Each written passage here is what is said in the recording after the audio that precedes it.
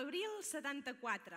Lluís Llach va fer aquesta cançó en homenatge a la Revolució Portuguesa, anomenada la Revolució dels Clavells. Lluís Llach es posa a la pell d'un soldat, dels soldats que van sortir al carrer, amb un fusell i un clavell. Per expressar els seus sentiments, en aquesta cançó va haver d'utilitzar moltes metàfores per no ser censurat. L'arranjament d'aquesta cançó l'ha fet en Ramon Vilà, de Cantoni Gros. Moltes gràcies, Ramon. Abril 74.